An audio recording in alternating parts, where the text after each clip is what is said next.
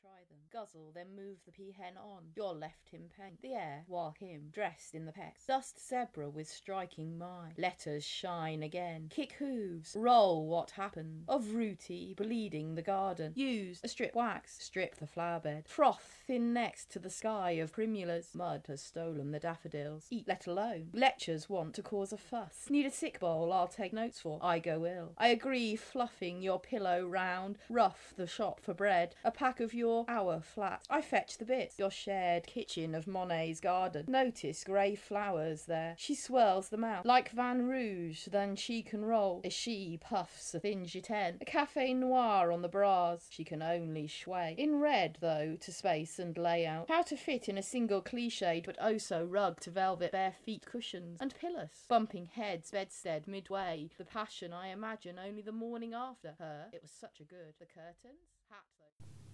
Behind our many wintered doors are the lives guzzle dust. We roll away from false pasts and unlived futures. Morning skies dregged with red wine, blown petals bumping elbows, stumbling across frosted grass, the slip of wet mud, broken glass stones, discarded sepal skirts, mulch to lush soil. Uncertainties heaped in restless rakings, steel tones digging forks and spades into silence, darkness. Landscapes closed with icicles, that numbness curse crouching. Cleave from this deep earth uneasy, the shh shh of moth time, slowly unwrapping. Warm breath evaporates traces of ice from our world's scuffed thin surface.